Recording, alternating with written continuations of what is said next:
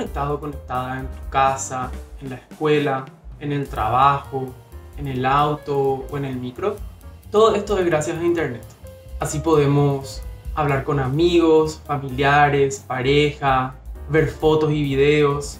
Todo esto puede parecer que ocurre por arte de magia, pero en realidad es gracias a una serie de cables y antenas que están a tu disposición en territorio paraguayo. Toda vez que vos accedes a Internet, lo haces a través de una empresa. Estas empresas son denominadas proveedoras de servicio de Internet, las ISP.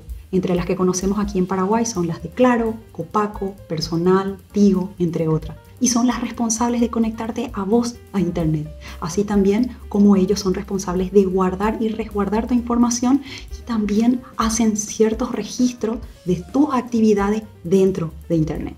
Muchas de estas informaciones y registros que se guardan son importantes para ofrecerte un servicio más rápido.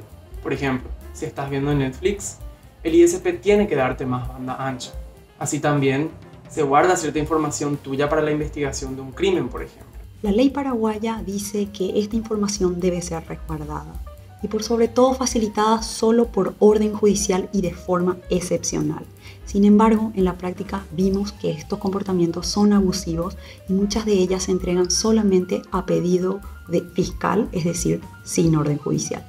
Es por eso que siempre tenemos que estar alertas. Esta discrecionalidad puede ser utilizada para otros fines, censura, persecución política, las proveedoras de Internet tienen un importante rol y responsabilidad y son guardianas de nuestra privacidad y datos personales.